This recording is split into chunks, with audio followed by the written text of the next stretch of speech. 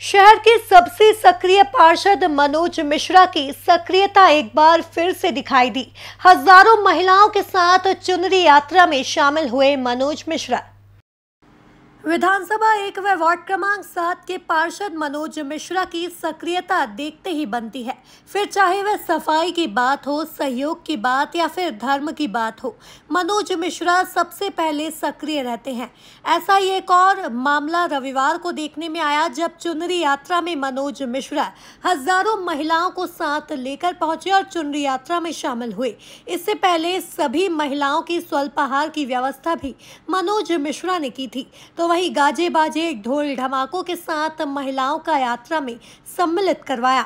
इस बार मनोज मिश्रा के साथ आई महिलाएँ शहर के पर्यावरण को लेकर चिंतित थी और उनके हाथों में पर्यावरण को शुद्ध करने के लिए तख्तियाँ लिखी हुई थी, जिन पर पर्यावरण को शुद्ध करने के लिए स्लोगन लिखे हुए थे।